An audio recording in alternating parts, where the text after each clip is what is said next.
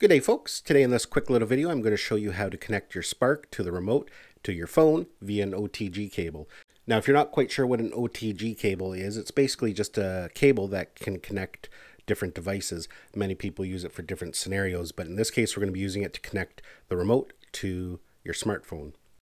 There are many that are having connectivity problems with the Wi-Fi with their DJI Spark. You know, loss of signal, disconnections, blocking, broken up video, using an OTG cable can help solve that problem. Now there's two different ways we can do it. You can use the cable that came with the Spark and you have to purchase the adapter from DJI. It's on their site and Amazon for about $5 I believe. Now it's not the best solution because it adds a lot of bulk. You have to use this long cable and then the adapter and you know it all can be very bulky and cumbersome. So a better solution is using a little OTG cable like this. This one is designed for the iPhone because it has a lightning end, but uh, you can get them for the Android devices as well. And I'll include all the links down below where you can get a little cable like this. The nice thing with this little cable is that it's very small and, you know, just a little bit more manageable. So basically the steps we're going to need to connect uh, first, what I'm going to do is I'm going to shut off all my Wi-Fi and different connections. So we're going to put it in airplane mode. And you can see now that Wi-Fi is off, Bluetooth is off. So go back to the main screen and we're going to launch the DJI Go app. And if you can see here, um, down at the bottom left-hand corner, the little icon where it says connection, there's a line through it. That means we're not connected to the Spark. Normally, we would connect via Wi-Fi. So what we're going to do here now is power on the Spark.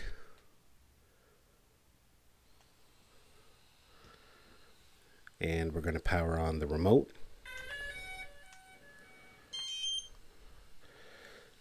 And we're going to wait till the two of them connect and the lights are flashing normally.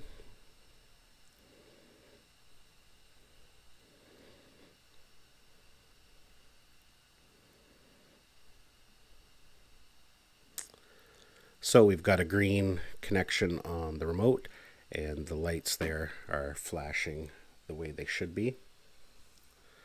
So now the next step is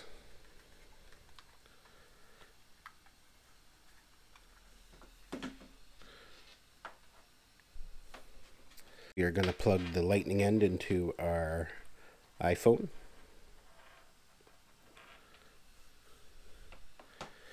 And we're going to plug micro USB end into the controller. And when we plug this in, we should hear a beep on the phone saying that it's been connected. It doesn't always work the first time. Sometimes you gotta unplug it and plug it back in. I'm not sure why it does that, but uh, just so you're aware of that.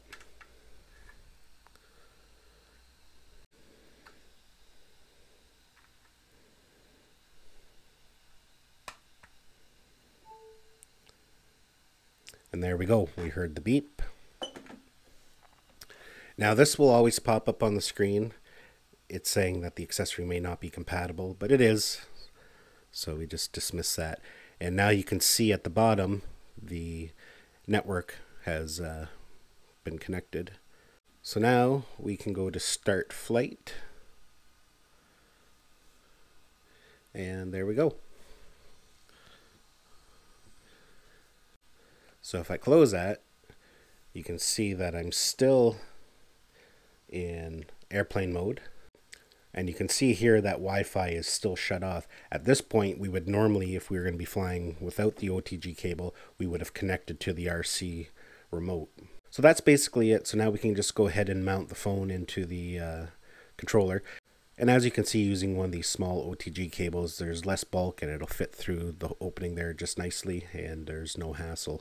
I just want to mention quickly that uh, DJI does not officially support this method and I have read in a different uh, few forums that uh, you can actually void the warranty or the DJI Care Refresh, I believe, if you do fly with an OTG cable. So just keep that in mind. Uh, use at your own risk. Well, folks, that's basically it for this video. Hopefully you found it useful. Don't forget to like this video if you did. Don't forget to subscribe to my channel because we're going to have a ton of Spark videos, different tutorials, and different things to get the most out of your DJI Spark.